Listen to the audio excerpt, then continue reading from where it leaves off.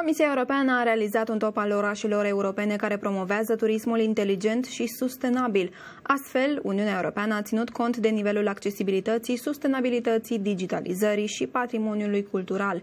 Virginia Osicu, editor al News, îți spune care sunt capitalele europene smart. Așa, Virginia, spune care sunt orașele turismului inteligent. Bordeaux și Valencia sunt capitalele europene care au primit premiul pentru excelența lor ca destinații turistice.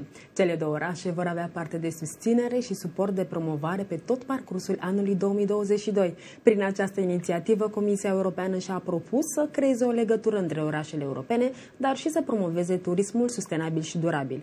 În fiecare an, Comisia Europeană urcă pe locul întâi două locații în topul turismului inteligent. Uite, în 2020, Gothenburg din Suedia și Malaga au fost premiate în 2020, iar în 2019 Helsinki și Lyon uh, au primit acest titlu. Virginia, îți mulțumesc pentru informații.